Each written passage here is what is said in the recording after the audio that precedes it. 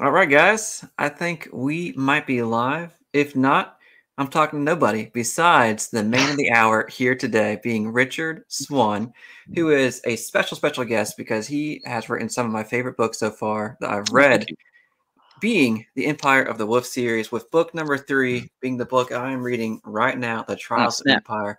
Oh my Look, God, you got- get the same got- book? Yeah, yeah. I, they sent me like two boxfuls of them. So As you can see, can't move I'm- for them. I'm this this far into it so far. So I just started my journey like a couple days Okay. ago.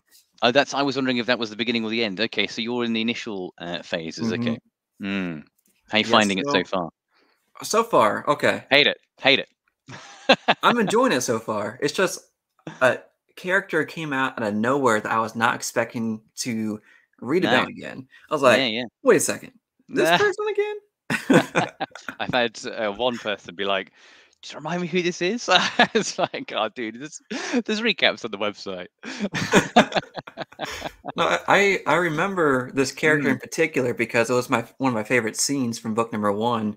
Because like Right. I don't know if he did this on purpose or not, but in terms of Mm. like subverting my expectations of these arcane like Mm. powers. So when I Yes. first read it, I was like, "Ooh, this is mystic mask, re- you know, raising from the ground." Yeah, and then yeah. you know what? It's being pulled by a little Mm. pulley system. I was Bit like, of thread. "Oh, Mm. okay." Yeah, but why? yeah, no, that was one of my uh, my sort of you know shocking, uh, not shocking, but you know one of the twists in the book anyway. I thought it's always fun to do throw a few curveballs in their early doors.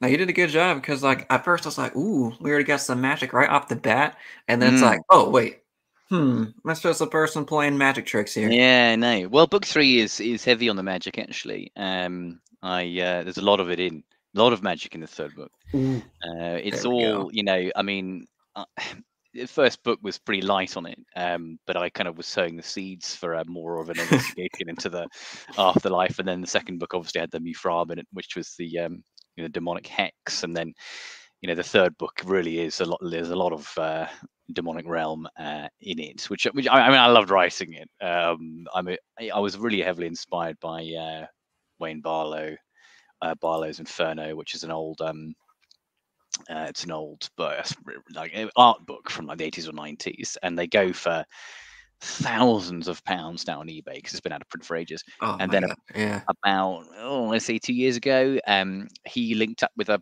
publisher in China, I think, and they did like a reissue. Oh, it- it was a it was called Psychopomp, and it was um a collection of lots of his old art hell artwork, um, plus some new stuff. And I immediately uh, purchased a copy, and it's a wonderful. it's all you know, it's like Beelzebub, and it's like um, I think there's an image of Satan, but there's it's it's like his imaginings of a your sort of classic Christian medieval hell, like Dante's Mhm. Inferno. Um, but yeah, and you get this kind of ash wastes, and you get like this these the cities of hell and what they might look like, and you know the the the, the war gate, which is a kind of like a massive commemorative archway, and they've got this demonic procession marching through it. And I loved it. I mean, it's creepy as fuck, but it I it it's so inspiring, and it was a huge inspiration on me many years ago. And so, you know, things like that, and then like the old and original. Um, this is going to sound weird, but the first Quake game. Um, Ooh, which I love Quake. from ID Software. I, I- that was the first game I ever played on my dad's um, PC, and that just kind of again that sort of demonic feel, that liminal aesthetic, because it's and it, the because the space is um because it's uh because it's an old game and so lots of it the skybox is just massive and you can kind of clip out through walls and stuff and you get this sense of sort of suspension and liminality and i i love trying to capture that aesthetic so um i yeah so that was so i really i just like you know what i'm just going to go for it this fucking people people probably won't like it as much but I, but i'm writing the book that i want to write um so there it is I mean, that's the the great thing about being an author, right? You write what you want to write. that's it yeah yeah But the game that came, like the first one of my first games was Quake Two when I was playing on my parents' computer, and I could I remember distinctly hearing the dial-up tone as it wound up, turning on this computer. Like Mm. it was that long ago. I don't even think I played yeah. online. I just remember I just remember that sound for whatever Right. reason in my parents' Yeah, yeah. bedroom. I had Quake- Quake, 2. It was it was one of the it was one of the uh, first games I got for the place the, the PlayStation. I, I had moved on to consoles when I was about nine, mm, 10 or so, I think, and Quake. I got Resident Evil, which I was too frightened to play. So I, part, I got about five minutes in, and I was like, "That's too much. That's too rich for my blood." Um, and then I went back to Spyro the Dragon. That was more my speed. Oh, yeah, Um, Mhm. yeah, a little bit yeah, less, loved less uh, medieval, A little less, yeah, yeah, a uh, little less Dante brutal. Inferno. Did that uh Dante's Inferno? Did that like help inspire your kind of medieval demonic world that you wrote in the, this series? Because it's uh very immersive and uh, Mm. very visual. It is. It's um I mean I mean yes, like you know, the works of sort of um Christopher Marlowe, Dr. Faustus, um Dante, of course, um Wayne Barlowe's Hell on Art um, Art on Hell was the was the big driver. Um I guess even stuff like Quake and Doom as well. I lo- I love the idea of um an actual tangible sequence of astral planes that had actual demonic creatures and actual angelic, you know, there's angels as well.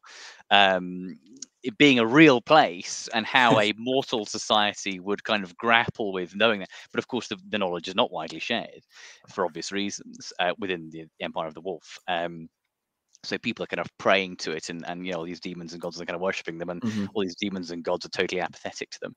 Um, so I- I loved the kind of the thought behind what do you do if the afterlife is re- is real and you know you're going to go there.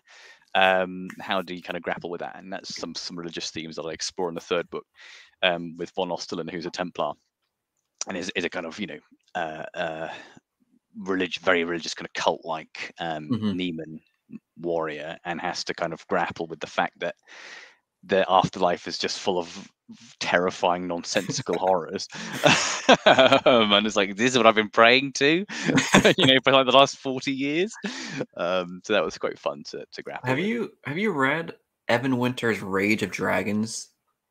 Before? no he's another orbit he's another orbit author isn't he um I, ha- I haven't but i've seen it's very highly regarded Yeah, there's like another plane, kind of similar to what's in your book in terms of this crazy, insane looking demonic creatures that will just tear you to shreds when you enter this plane. Lovely. I was like, this kind of feels a little bit similar, but Yeah, uh, a, a little bit different at the same time because the main character in that book, he's going there for a different reason than what's going on in your book. Mm. But oh it's a yeah, i mean it's a well-trodden path I, it's um I, the answer is I haven't. Re- I haven't read it. No, and uh, I, but it but it looks very good. Um, mhm, I don't think there's anything super unique about uh, you know and uh, having a real afterlife and you know not sort of laying Yeah. claim to having invented the, the concept of it um but uh you know just kind of as as you can only ever do as an author uh you know you're, you're putting your own stamp on a lifetime of influences um and uh, you know rarely do we re, you know reinvent the wheel um so i wouldn't be surprised if there were you know dozens of novels which had so you know d- demonic kind of um, Mhm. goings on. Um, but you you just sort of funnel it through your own lens and your own aesthetic, don't you? I also saw yesterday, or what maybe for you it was like today. I don't, with these time zones, man, it's kind of crazy. But I'm you're ahead with of you. Uh, you're with uh, Jay Kristoff, who uh, Yes. also wrote one of my favorite books, which I have right here, Empire of the Is that, the, Vampire. is that the color version that I can see? It is, yes. Yeah, yeah, lovely. Mhm. Uh, it's a great book, isn't it? So how like did you just end up being with him because he was near you, or like how did that wind up where you were talking with him about Oh, Empire of the Damned? I know, I know Jay um, from a couple of years ago. We met at a um, there's a Comic Con in Australia called uh, Supanova, and uh, he was uh, he was at that the Empire. Uh, so Justice of Kings came out in the same year as Empire of the Vampire. Ah, and so we were we were both guests at that Comic Con, and um, yeah, so we got you know we got to chatting and we got on well, and we've met up for drinks and, and stuff since then. So so Jay's a you know friend of mine, and um, he was here a few weeks ago and asked me if I wanted to MC his um, his book launch for Empire of the Damned, and I said, oh, yeah, I'm delighted to, obviously. So um, we did two nights in Sydney. Um, the last night and the night before, and uh, it was it was wonderful. You know, we were just kind of you know, bantering and talking about the the book, and I Mhm. had to I had been delaying reading Empire of the Vampire because it's a big old book.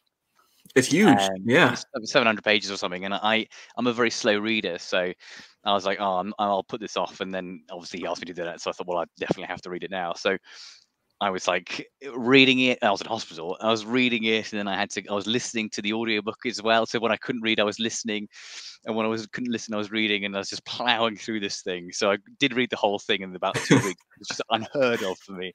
But uh, but luckily, I I thought it was a fantastic novel, um, mm-hmm. and so it wasn't a chore at all. It was it was a real pleasure. Um, but yeah, that's what I was doing.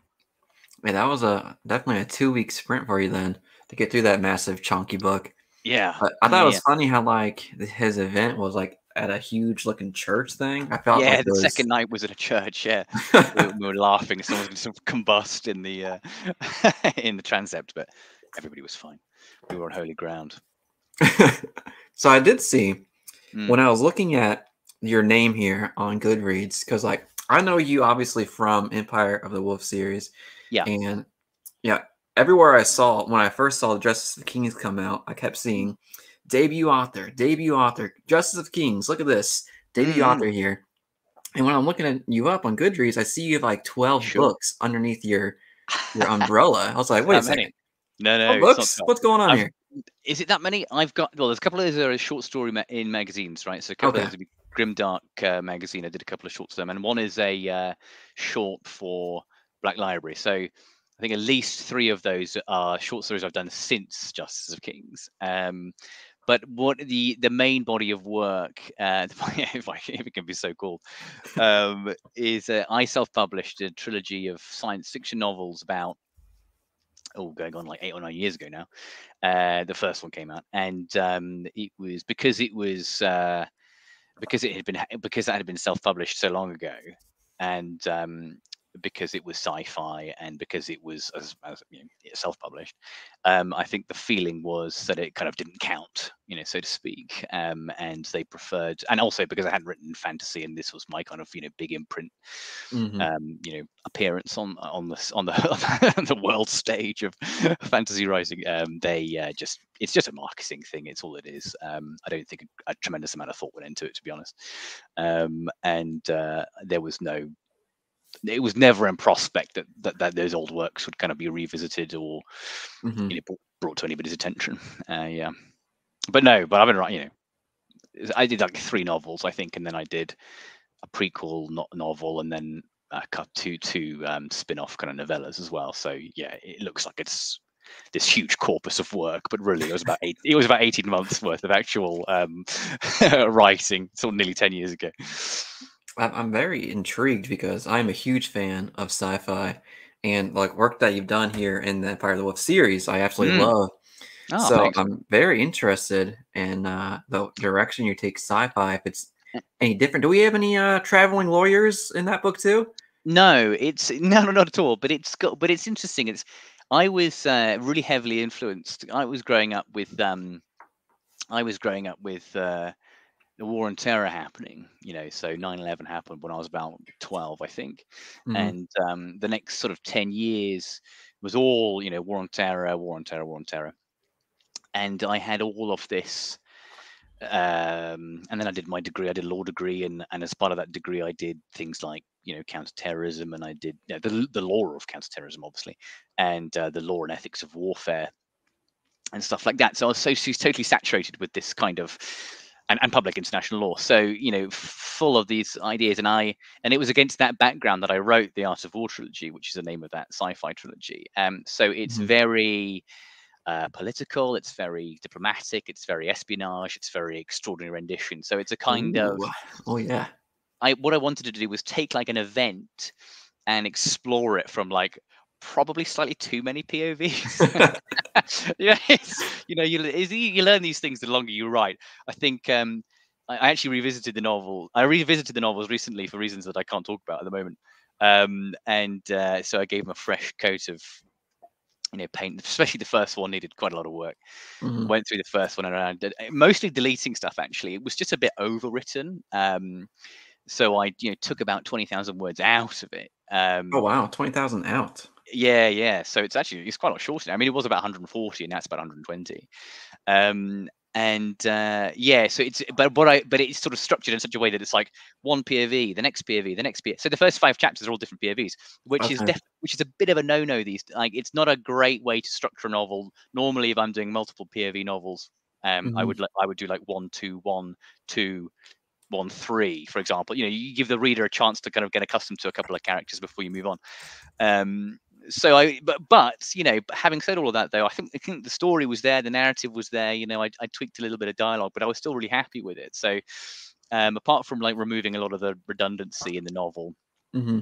i um it was a fun experience to kind of go back through that old stuff. But yeah, it's very, it's it's still it's still in that kind of vein. A lot all of the themes running through all of my books, and this is true of everything I've got, you know, both past and in the pipeline. Is all this is very civics focused you know it's it's this it's institutions and how they interact and the laws and rights and ethics uh, that surround those things. I mean, that's just the stuff I find interesting, and I, I like to filter it through a fantasy world, or like to filter it through a sci-fi world, and you know, kind of explore the different, you know, aspects of it, and hopefully in an interesting way, because you know they can be quite dry oh, yeah. uh, topics, but so you got to make it interesting as well.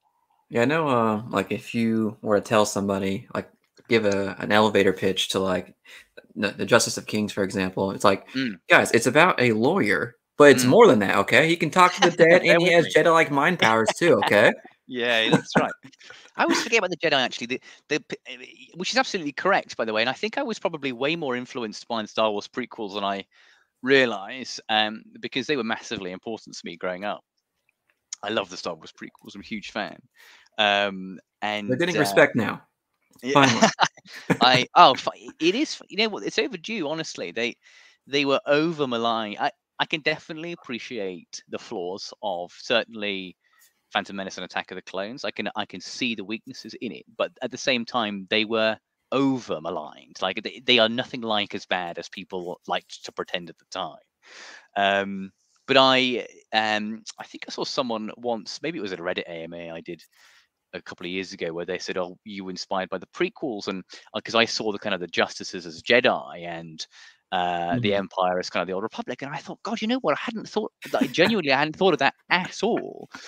But it's so true. Like they are like, because um, what what are Jedi except kind of roving peacekeepers, right? That's ultimately, and it's you know, sort of the justices are with mind tricks. But um, the one that uh, mo- is uh-huh. most comped is is Dune, the voice, uh, the Bene Gesserit mm-hmm. voice um, from Dune which is again fair enough. I mean, it's the same thing ultimately. I don't remember being directly influenced in it uh, because I um what I the way I came about those powers was I was just like spitballing in my head. What powers would a traveling investigator want? You know, they would want. You know, what ultimately what do we all want as as lawyers? We want a, we want a confession. You know, I think just to cut through the noise. So you know, something the power to extract a confession, the power to speak to the you know a, a murder victim. You know, who murdered you? Oh, it was you know that guy over there. you know, done. You know, so it was more thinking through the logical powers, the logical things that are a, a, legal investigator would want as powers. And then, of course, everybody, well, not everybody, but some people were like, oh, it's, you know, it's basically like Judge Dredd, but he's got the voice from Dune. And I was like, yeah, because if you, if you wanted to, to be reductive, it definitely, it definitely is like those things. Don't get me wrong. I'm not saying it's better or above those.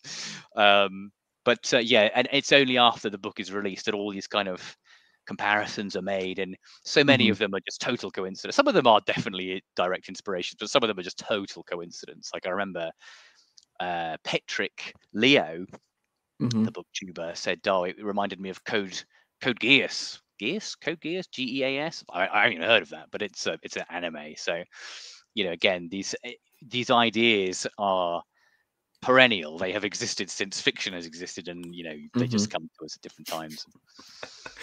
Now, I I see sometimes. I was talking. I forget which author it was, but it was a couple weeks ago where he got somebody commenting on his book saying, "Oh, you mm. stole this from this XYZ." Right. And he's like, the author's like, "I didn't even read that." So there's no way. It's so often the case. that. Mm-hmm. I don't I mean, I don't even um I didn't read a lot of fantasy. I never and I never have done. I read, probably the most fantasy I read was in my teens.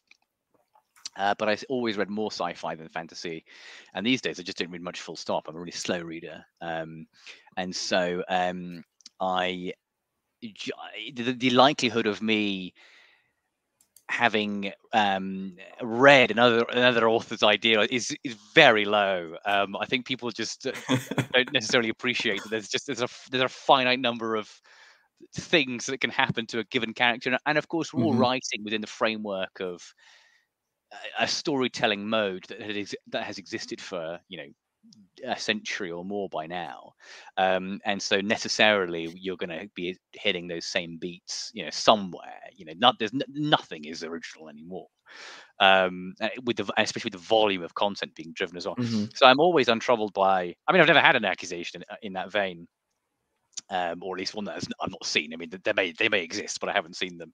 Um, but uh, yeah, the likelihood that it's I've just you know, lifted something is is is quite rare. Um, occasionally we do, you know, like it was there'll be like a line of dialogue or something, and you think, God damn it, that's like the best fucking thing I've ever heard. Like I've got to rework that slightly. I get it in somewhere.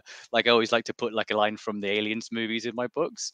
Um, oh no, I think I, I missed that. Uh, yeah, so um, I did it in the first and second book, uh, second and third books, I think or maybe the first as well. I can't remember. And I did run like a competition on Twitter where I say first to find the aliens reference gets a free hardback. And day one, they always like they're always gone. Day one, someone will get it. That's hilarious. Um, like probably within like, minutes, somebody. Oh, oh yeah, and and this is like a year's lead time as well because I'll tweet it like a year before the book is even released, and people will have bookmarked the, uh, the, the tweet. The one in the book three was something like um whatever happened here, we missed it.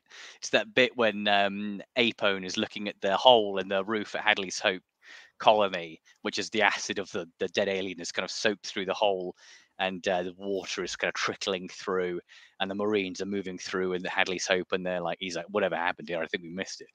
And I stuck that exact line in um, so uh, in book three. I was like, I've got to, I love it so much. I've got to keep just seeding these little Easter eggs.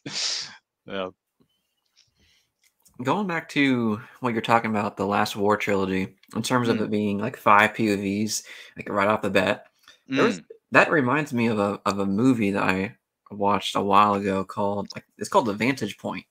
Okay. And you would think that with the title being The Vantage Point, there mm. might be a few different vantage points, but going sure. into it, I had no idea. But it was exactly what kind of what you're describing in terms of mm. about every 20 minutes, it was a different vantage point, a different POV. Right of a singular okay. event in terms yeah, yeah. of what they're like what they're seeing, what they're perceiving, and how yeah.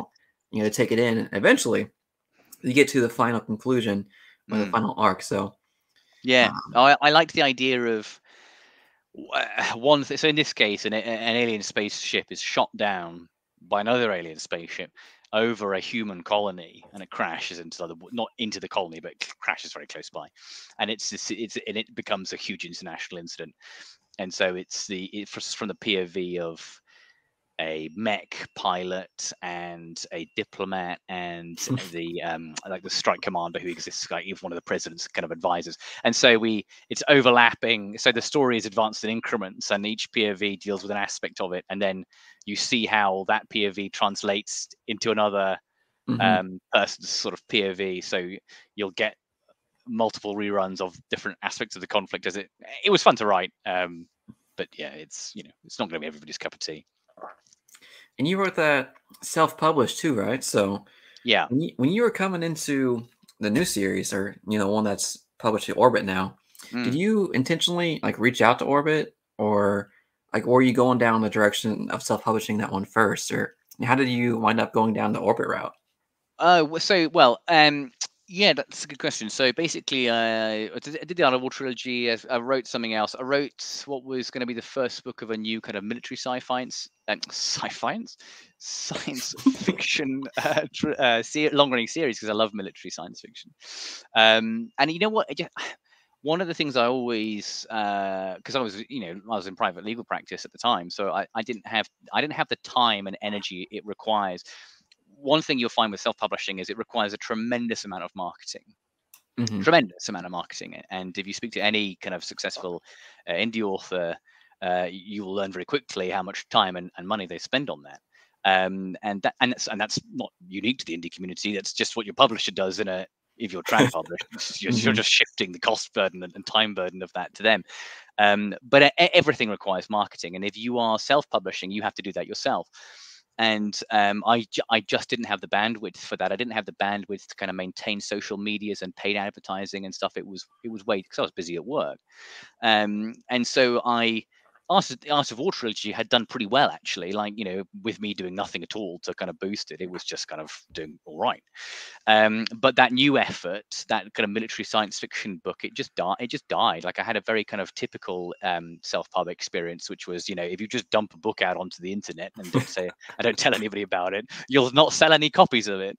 Um, and uh, and I just thought, you know what, I feel like I've I had done self-publishing for a couple of years like i'd enjoyed the experience and i enjoyed the control over the creative process that it, it had given yeah. me mm-hmm. um, but uh, I, I, I, felt like i'd kind of ultimately since my early teens you know my goal had been to be published by a big kind of sci-fi or, or um, fantasy imprint that was my life's ambition and um, I, so i kind of re- I, I, kind of pivoted back to that goal um, and I wrote the Justice of Kings, and I um, uh, so I, then I got an agent, so um, you know, literary agent, okay. and mm-hmm. it's their it's their job to pitch the book to, to editors. so um, he took the book out. We we did a bit of editing, and then he took the book out on submission.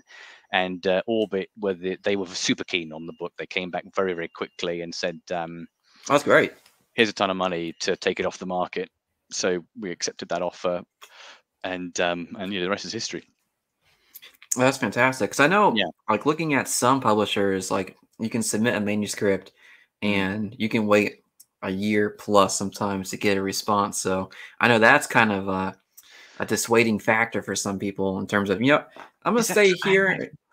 Is I don't know if that's is that right. I mean, it's quite rare if your if your agent is submitting a manuscript for you. Mm-hmm. I think it would be look the internet is awash with horror stories. People love to share their horror stories, right? It's like um, my wife has two children, and we've got a third on the way. And you will never hear anybody tell you a positive birth experience. Never, right? It's people only will ever share the war stories because it's more it's more interesting. It, it's salacious. It's fun to tell. Mm-hmm. Um, and so loads of people will say, "I had a terrible experience doing X, Y, Z," and very few people will say, my experience was fine, you know, with X, Y, Z. and so I think, you know, you can get a slightly off kilter view because undoubtedly there will be people who have had bad experiences in, in, in all sorts of however you publish a book um, the idea that uh, a, a, an agent would submit a manuscript and not hear back for a year or 18 months i, I find a little difficult to swallow because most of these um, agents, you know, they have direct relationships with the editors they're submitting to, um, and so you know, to be go to be ghosted would be rare, I think, um, mm-hmm. completely, mm-hmm. unless it was a mistake, you know, unless unless it just kind of slipped through the cracks. Um, uh, to say that's not to say it never happens, but I, for that to for that to occur often enough for it to be a serious concern for for people on submission. I, am not sure. I, I, I think that's correct, but happy to be proved wrong. It could be that when I was exploring it, it was mm. for people that don't have an agent in terms that of having well that be. established connection. Because the, the, the publisher I'm talking about in particular is actually Baen Books, who is also sci-fi and yes. fantasy. And like even on their website, they say 12 months. You you might hear back. Is that so, and, and, is that their slush pile? Is it their um, unagented submissions? I'm not sure. I didn't yeah. look that far into it. All I saw was the 12 months. Yeah. So maybe uh they maybe, so Baen, Baen are their own Baen are their own they've got a their own thing going on at the moment. Mm-hmm. Um, and I think they have a lot I think they have a lot going on that I'm not really qualified to, to talk about. um, but uh, you know, so what they, ha- you know, these days, because of the overwhelming number of people who want to be published, and yeah, that's that's not changed. But I think there's across the board, across the creative board, just there is so much content being produced. It's never been easier yes to mm-hmm. to to produce something.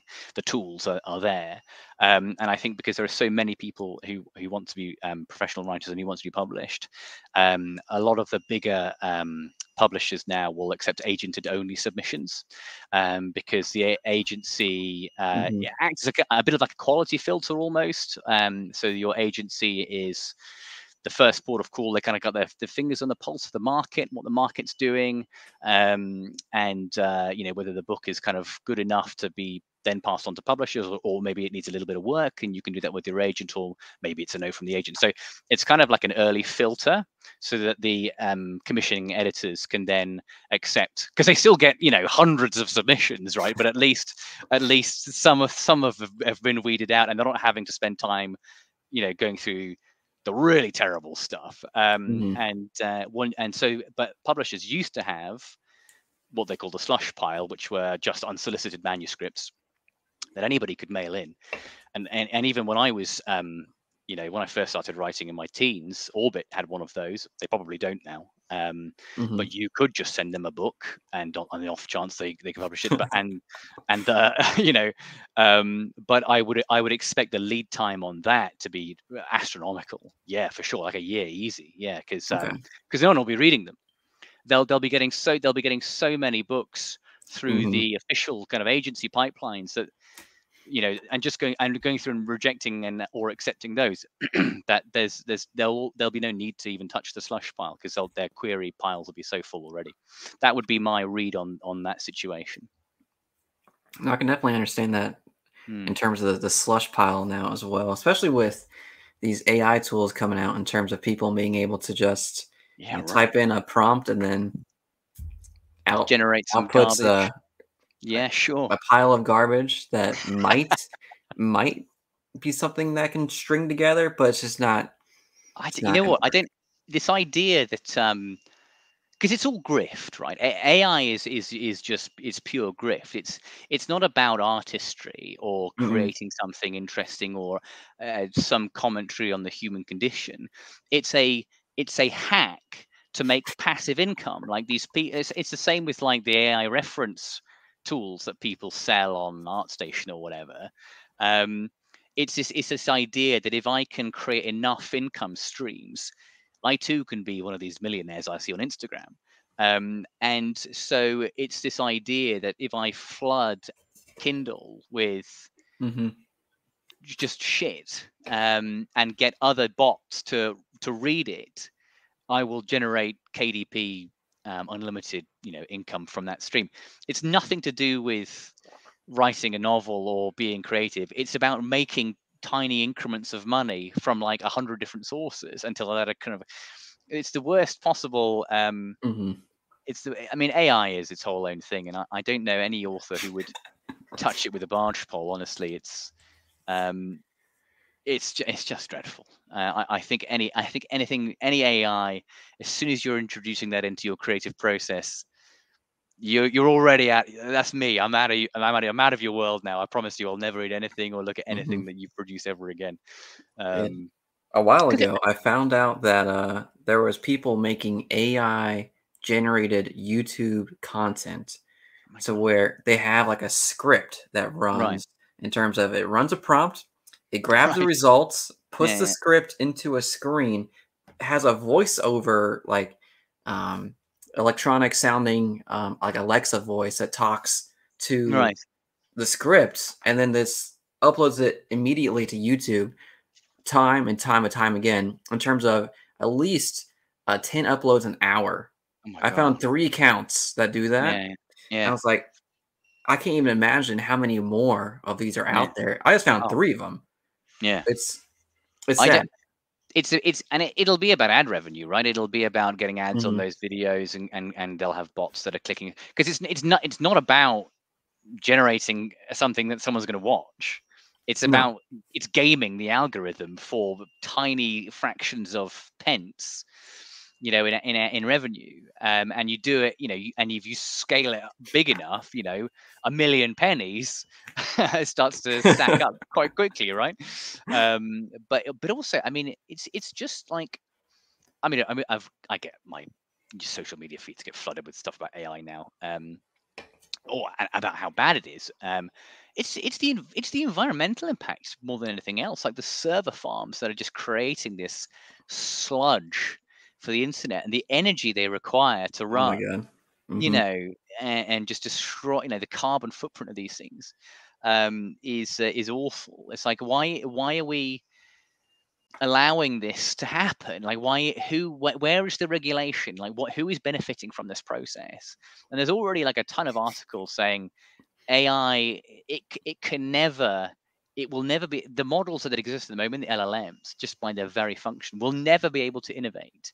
So you will always get weird weirdness you know in in the output always. You'll never be able to get around it no matter how refined they become because they are they are incapable of thinking. They are just dumb machines replicating the next most likely sequence of words or pixels. Mhm. um and so it's like well so what to what end? You know what so what is it all for? We're going to you know decimate artistic communities and we're going to decimate the the atmosphere and the rainforests and whatever. And you know 10 years down the line everybody like yeah why, why did we even bother with that? And, and the internet's going to become so full of, of total garbage that it'll be un, Yeah. slow and unusable. I just think you know it's all for its own sake. It's all for it's it, there's no purpose to it which is just a baffling thing. It's a, I, I remember when ai first came out um and i was i, I was I, I admit right so a friend of a friend of mine introduced it to me and I went on the uh, this was about a year ago maybe, and they had the disc they had the Discord uh, for Midjourney, and I went on it and I was like, oh, this is cool, and I like did like um, I, I tried to do like get it to generate a picture of Sova, you know, the capital from the Empire of the Wolf. Yeah. And uh, it, it did pretty it did a pretty cool job. It was a bit of a weird image, but like you know, if you sort of zoomed into it, you got like these little artifacts and sort of fractals and stuff. But generally, it was pretty cool. And I was like, oh wow, that's cool. Um, and I kind of saved the image, and then I kind of played around with it for a day or two, and I just found I was like, well, it's just giving me like you know nine times out of ten, it's just giving me something I'm not interested in looking at. Um, and you you can't, you can't refine it in any meaningful way, and I just got bored of it, and I stopped using it. And then and then it later transpired how those images were being generated, they were being scraped from you know copyrighted materials from the internet, and I became very anti AI after that. Um, but uh, you know, but I just I, I can't understand the kind of what possesses a person to want to spend time creating those pictures like what do you even do with them once you've created it's a bit like scrolling through instagram it's like a, it's like an addiction you're not you know you do it for like 10 minutes and then you just feel a bit shit you're like oh i don't i don't feel good having looked at 10 minutes of instagram if anything the opposite and you know so Mhm. but it's it's like a kind of addiction isn't it? And i think it's the same with ai these guys just kind of putting in prompts and they kind of just get addicted to the process rather than like actually enjoying the art artwork that it, it kind of generates. It's not like they're printing them off and hanging them on the wall or anything it's just about like for you know i don't understand it personally i don't understand the appeal but yeah there we go Yeah, that can be a that can be a whole discussion, absolutely. Mm. And uh, you know what?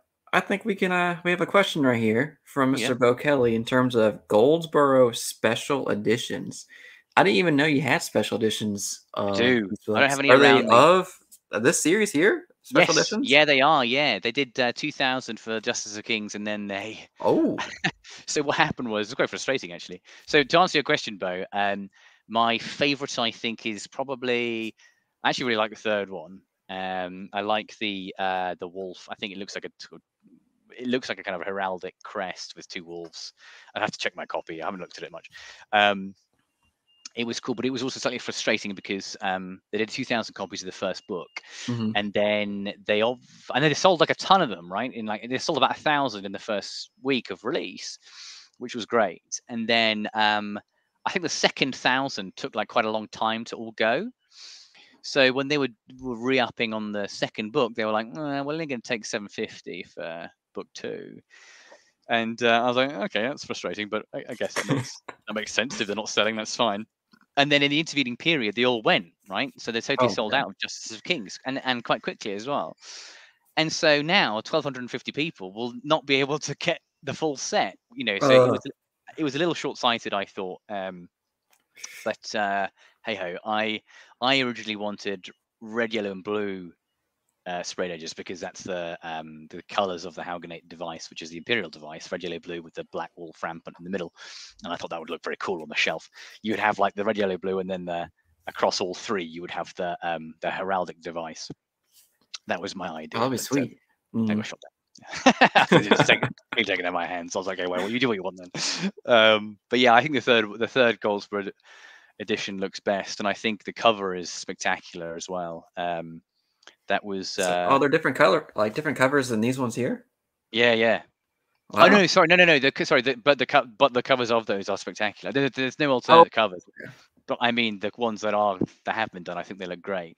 Um, it was exactly what I wanted uh, from my from the from the style of artwork, kind of what they Mm. call fantastical realism, which is a picture that's painted to look like a like a real thing. Um, so uh, I mean, I love kind of more impressionistic artwork as well. Don't get me wrong, um, but I I saw Martina's work. She did a little Magic the Gathering work, and um, I was like, oh, that's just that's just perfect. Like I love that stuff. And she was doing uh, the Witcher special editions at the time. So for all, Oh yeah, those are beautiful. Yeah, Mhm. uh, she was doing the illustrations, you know, the Yennefer one, and you can see Geralt outside, outside that castle, and there's a few kind of stunning illustrations for those. And um, so, luckily for me, Lauren Panepinto, who's the art director in, New, in Orbit New York, said, um, "Ah, you know, we're having trouble finding a an art cover artist for Empire of the Wolves. Like, would you be interested?" And she was, and so you know, the rest is history. So I, I, I do really love those covers, um, uh, and I've seen so many people say the covers are incredible, or I picked up the books for the covers alone, or you know, because and they really are stunning. So I was really happy with those. Well, they they definitely are stunning. They look great on the shelf. They and, do. Uh, all of them look great. I I like the second one for sure because um Mm, that the second one is Helena, right? yes, yeah, yeah, yeah, for sure. Okay, I I, got it right.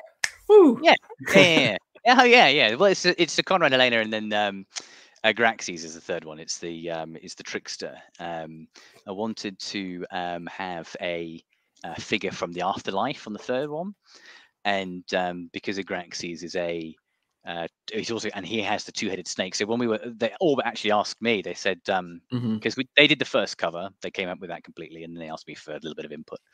Second one, they asked me if I had any any ideas. Um, they said we'll, we'll go with, with Helena, we think. Um, but do you have any ideas? And I sort of had the idea for the deer-headed, you know, Nema, the deer-headed god, god in the background. And everybody loves that cover. It's a fantastic cover. And actually, she won an award for it. Martina won an award for that cover. Wow. Um, yeah, yeah. uh, She was juried on a, some kind of illustrators award, and she and that one, so it was fantastic. And then for the third one, I was like, let's. It was difficult, and it's difficult to talk about spoilers because when you read the first book, you would logically think Brian Bressinger would be on the third cover.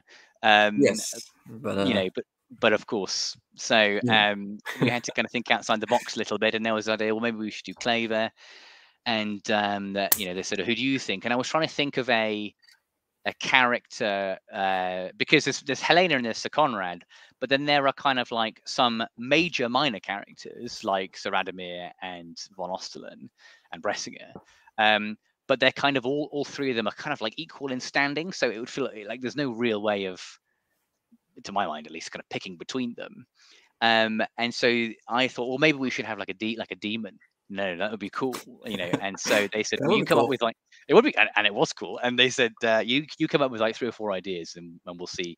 And so I said, well, you've got because also because you've got to factor in the statue behind as well. mhm.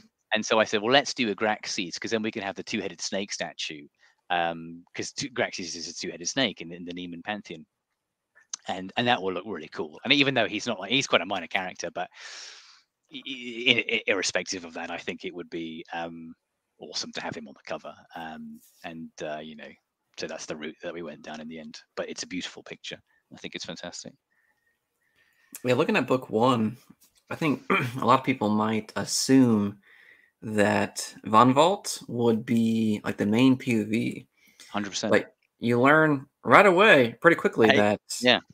Mm. he is not the main POV. We actually have No. Helena, which I think is a fantastic character, but I thought it was very interesting Mm. that you wrote it in this way to where you're kind of telling Vonvalt's story through Helena's eyes. Yeah, right? yeah. So how did how did you come up with that kind of um, framing there for that? Yeah, that you know what a lot of people ha- uh, thought that, and uh, I've seen it. Some people say, "Oh, it's wonderful." It's an, I, I think the, the the general consensus to um, having Helena as a narrator has been very positive, and most people agree that it's the best choice for the story. But occasionally, I do see, you know, someone will say, "Oh, I thought it was Sir Konrad," or "I wish it was Sir Konrad," or um, blah blah blah blah. I actually read uh, the, so the idea, and uh, to be fair, that that that again, that that that narrative frame is not a new idea. Loads of books have done it. I saw um, the book that inspired me to do it was Robert Harris's uh, Cicero trilogy, because Vonvalt in my mind is this, he's a statesman, he's a lawyer, he's this traveling judge, he's a, he's a kind of a great man of history, if you like, within the within the Sovan Empire. And it's much the same way that Cicero was. So Cicero started as a lawyer, and then he became senator. Um, and when Robert Harris wrote his trilogy, he had Tiro, who's Cicero's slave, um, tell the story of Cicero. And I really liked I really liked that choice because what it enables you to do is so Konrad's POV would not be an interesting POV. Um, it just it, it, genuinely it wouldn't because he is he is so self-possessed mm-hmm. and so sure of himself and he's so competent um, that it would be it would just be a bit dull. And, and he is a kind of like a he's a serious and a and a severe man, um, and so you know uh, his his thoughts and his internal dialogue I don't think would be interesting to read at all. I think it's much more interesting to read uh, someone's one of his retainers' view of him, and especially someone who is young and impressionable and exists in this very awkward place in their life where they've had a very difficult upbringing. And this is one of the one of the criticisms I see of Helena um, is uh, she's very whiny, or um, she, she's she's not she's not street smart enough, and you know, and I, I one thing I always say is like that's not how difficult upbringings work. Like you know, if you had a rough childhood, you are not a well-adjusted adult. Like this idea that like street urchins are like super tough and street smart and wise, they're not. They're broken people. You know, psychologically, they're broken and they suffer. I, I know some personal experience, not my personal experience, but people I people I hasten to add, people I know who have had very difficult upbringings, very abusive upbringings. They are they are not well-adjusted adults, um, mm-hmm. and they one thing that you will find with people who have suffered a difficult childhood is they crave stability. Um, and so Vonvalt is Helena's stability. He's her he's her rock, and that's why she reacts so viscerally to him when he is out of sorts. You know, things are going wrong when he mm-hmm. is not himself as he progresses down this path.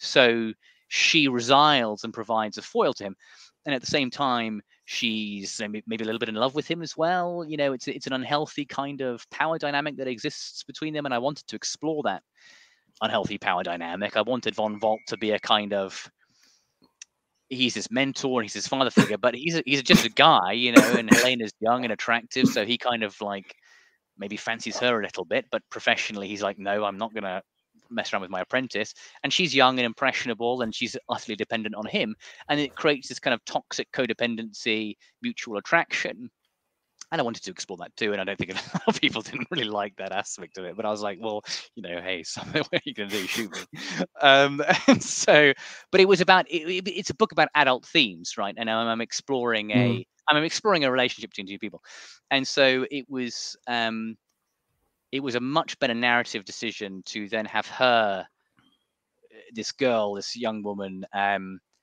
talk about Vonvalt and his impact on her and her impression of him, and also to provide a slightly less less biased view of his, you know, his journey and his character kind of evolution as well. Because obviously, like Vonvalt becomes much more laissez-faire with how he applies the law, and Helena mm-hmm. becomes much more rigid and stratified as a result. And um, and then but because she's old she's an old woman telling the story um, you can also have her provide commentary on well maybe i was being a bit like you know maybe i could have been a bit more realpolitik about it. You know maybe i was being a bit silly about it but you know hey ho i was only 20 at the time. Um, and so you know I, I, think it was um, it was definitely the better uh, narrative uh, decision. And, and, you know and, and luckily i think most people have kind of identified with that and connected with that well, I definitely have. I I remember. I think it was in book one, where I think his name was Matas. Or oh yeah, Ma- oh my goodness, people hate that. I see. Oh, my, oh, right. Just let me let me rant about this. They. This is the, this is back to what I was just talking about, right? So, this that you get these kind of um. So this is back when I used to read a lot of reviews for Justice of Kings, and then I and then I stopped after a while. I I read I, I these days I barely read anything with Justice Kings actually, but um, if I do, it's just the five stars. I and that's the same for all three books now. I just read the five star reviews. It's a wonderful little pick me up, and then I go back to work. Um, mm-hmm. Back when I was reading all of them, and there was this common thread of critique about Matas. and his role in the story and the insta love. And I was like, again, it's I, I get it. I get it. I get how it read. I, I, I do understand. Like, and ultimately, when you put a book out into the world, um, there's um, you know, it's the death of the author, right? You know, we, we would all love to write our own reviews. We would all love people to, to fully grasp and grapple with and understand the themes that we're exploring. Absolutely. And, and that's never going to happen. And you just have to make your peace with it. And I think every author goes through that period of maybe six months and then they just fucking give up. And they're like, okay, whatever, I'm done. I can't spend any more mental energy on this. But the Matas storyline frustrated me because I think people uh, people who didn't like it thought it was just a kind of crowbarred in weird insta love YA romance that had no place in the novel. And I was like, that's eh, that's totally missing the point of Matas and, and his character. Matas is is is as, as I've just said, like people who have difficult upbringings, they crave stability. And Helena is not sure whether she wants to carry on with Sir Konrad yeah. or not and uh, so she's very torn. She sees this guy. She's a fucking teenager. She's like 19 years old, right? Teenagers fall in love at the drop of a hat. I certainly did.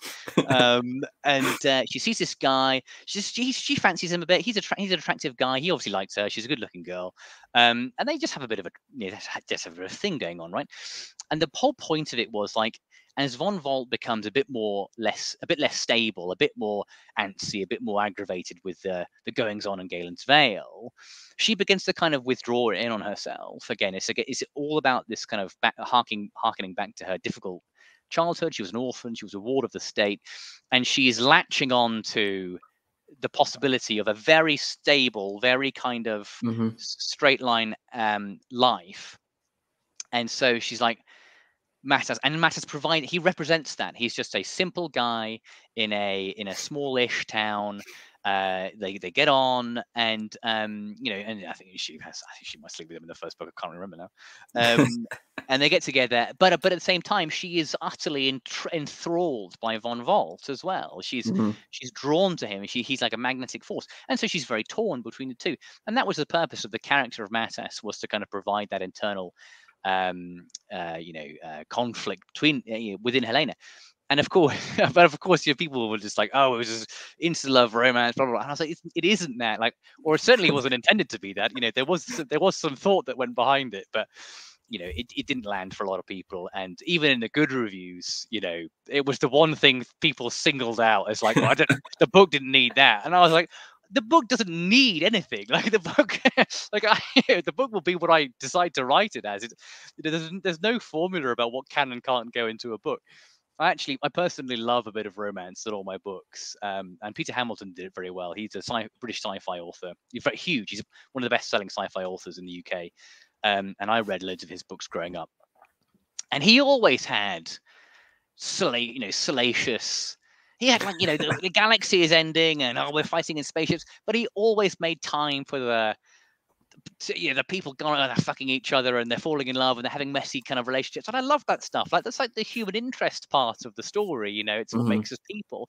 And I think people who uh, I don't like it when people say I don't like romance in my books. I don't like to read it. I just want and it's a surprisingly common um uh, view and people will lampoon your romances or they will say oh you know it was silly it was unrealistic whatever but I'm a, I was a little bit uh, I was a little bit ups- not upset is the wrong word but I was I was it was a shame that it didn't I think some people got it and occasionally I'll see a review where someone has fully grappled with Matas and the purpose of Matas and you know what narrative purpose he served and I'm like thank you I'm not going mad like some people did get that but I think for a lot of people they just thought it is this fucking guy? Like, you know, get him out, get him out of it. I want to hear about the investigation. Like, I don't want to do this. And I'm always like, I am telling the story. It's not like there's no, um, it's not like there's this broader canvas that I'm pulling the story from and curating a little plot. Like, everything that's on the page is what I've made up. You know, it's, it's not like I'm kind of filtering it from a bigger story and the, and I'm denying them the kind of broader plot.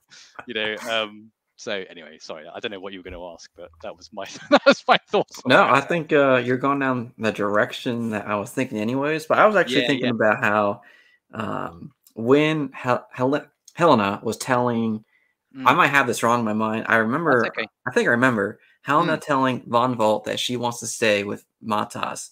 Yes. And then Vonvalt says, "That's fine if that's what you want to do."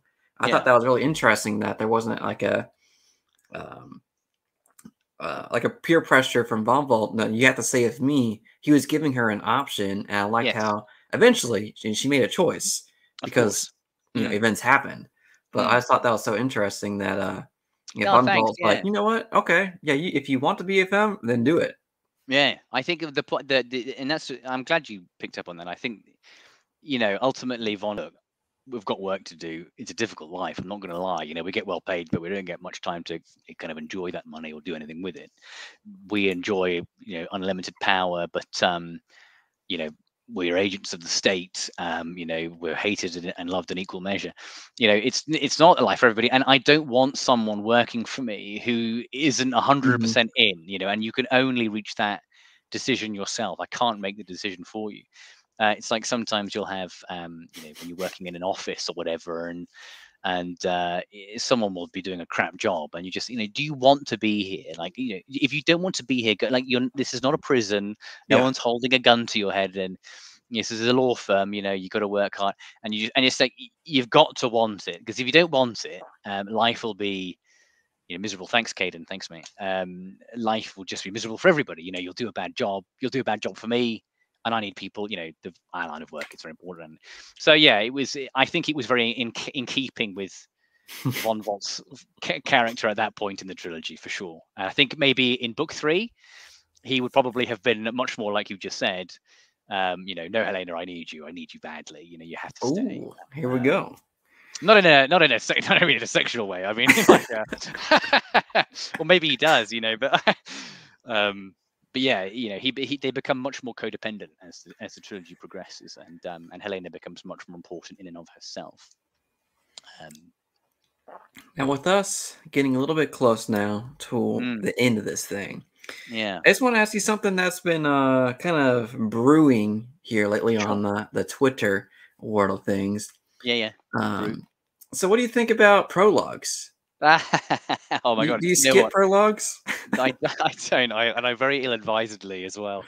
Yesterday, I ne- I always avoid book drama, or if I if I engage with it, I do it in a kind of jokey way, um, because it's all so stupid. You know, all Mhm. of it is is so stupid, um, and it's just a load of people shouting over each other, trying to score worthless points, you know, and getting very stressed out about about no, about nothing. It's it's and that's the thing. It's it's anyway. Yesterday I, I tweeted something like, and it was half it was half in jest, and it was half you know sort of true. And I said something like, I'm sure people are just getting a preface and a prologue confused now because I can't fathom I can't fathom skipping a prologue. It it, it is so strange to me. Like and.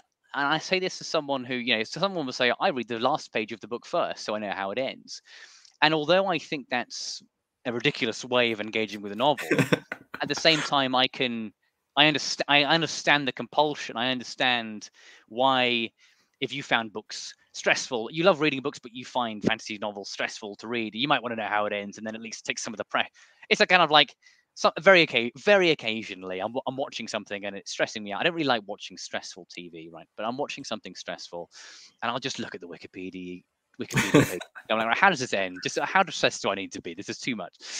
And so I understand that sort of thing, right? Even though I would never do it, I understand it. But I, but the, with the prologue thing, I just can't understand it. Uh, and I, I think, I think it comes down to two things. I think it's mainly, may, maybe because I'm not, I'm not really widely read, right? And I'm sure there are people who read hundreds of books a year. Okay, I, I and I just, I just don't. I can't read that many books, and so maybe it's quite common and I just don't know, for a prologue to be somehow divorced from the rest of the narrative in a, in, in a way that makes it utterly valueless. Um, Mhm. but then I question why it was included in the- in the first place. I mean, the, so it's a we- it's a weird one. So maybe so maybe that's part of it. And there are just so many. But I've I've I just I've never not en- uh, picked up a book and just started with a. I usually skip if there's a pre- if there is a preface or an introduction. I always skip those, um, because but the actual narrative, that's like you're just skipping the first ten or so pages of narrative. And also my prologues, I like I use them as um, thematic prologues, especially in the third book. Mhm. A prologue is often temporally removed from the main story, but it sets up an important theme or point and the thing, especially in Trials of Empire, the prologue is really is actually a really important part of the book. In fact, you should pay really close attention to the prologue um, because that is the that's if you'll see what I'm doing with it. When you get to the book, you'll be like, I'm gonna go back. I gotta read yeah, it again. you should. You should because there's a there's a message there. Uh, it's not that subtle, um, but uh, but it's there. And so if you skipped that, God knows why you would. But if you skipped it, you would miss out on one of the kind of th- key kind of climactic thematic climaxes of, of the novel. So I find it really weird, um, to be honest, and I don't I genuinely don't understand it. Um, I don't understand uh, engaging with the, with the book that way. Um, you know, at worst, you might skim read it. You know, if you if you thought, but to but to skip it entirely, it seems like a really weird thing to do. Mm-mm. So I anyway, I, I I tweeted something. It was a silly tweet, and people, and then about God knows, about uh, two or three hours later, the angry people found me. And uh, I was getting messages in there, and I was like, "All our authors, all I've seen is authors screaming bile and, and invective at readers." And I was like, "Oh my good, uh, what have I stepped into here?" so I just I just muted it. I was like, oh, you know what? You can argue amongst yourselves. Um, uh, but that was my that was on me. That was my fault. I shouldn't have engaged with it. And I thought, you know what? Logging off is free, guys. You know, this is not good for anybody's spleen. Um, so I find it really weird. Yeah, I don't understand it. Um, and and if you skip my prologues, you are uh, you're you're skipping an an important Mhm. chunk of the of the book, uh, and, and so I wouldn't recommend it. But I mean, you can if you like. Uh, once you've bought, once you've bought it, I don't give a fuck what you do. with. Either way, I don't understand it. It's like uh, going to a movie and just fast forwarding 10 minutes and saying, you know what, I'm going to Yeah. start here. It is. It's exactly. It's, it's like skipping the first kind of. You know, they got that kind of uh, bit at the beginning of the uh, Fellowship of the Ring, where it just kind of lays all the groundwork for the. It's like starting at the title screen of Fellowship of the Ring and skipping Galadriel's. Um, you are dead to me. Um, uh, it's like skipping Galadriel's monologue, which is a wonderful part of the movie, Mhm. um, and just going in cold. I mean, it's just, it's just, I just find it weird. I, as distinct from other weird reading habits, which which I can at least understand. This one I find weird, and I don't understand it. Um, but hey, you know, people want to read books in that way. Who am I to tell them otherwise? Well, I know we're here at the end of the hour, and before I kind of leave it off to you with any last closing statements, if you have any, I just wanted to say again, thank you so much for joining me tonight. I've had a blast of fun. I'm enjoying myself deeply right now in the third book of Thank you. the Empire of the Wolf series, and Mm. I'm excited for the special announcement I think you're going to make on this. Uh, uh, the, the Oh, war. the, the sci-fi art of war. Yeah, of course. Yeah, that's there's something coming with. Yeah, something. There is something exciting coming with that. Yeah, for sure. Um, so I'm looking forward to all that. yeah, Thank you so much no, for being here. It's Do you have anything, any last statements you want to say to anyone watching the la- up to this no, point?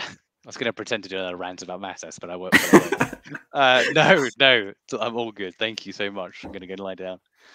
Um, thanks for having me. I've had a really nice time. Uh, just chewing your ear off about things that annoy me. Um, it, it may not be where you saw the interview going, but it's where it's gone. So it's going to deal with that. Matas, AI, Dune.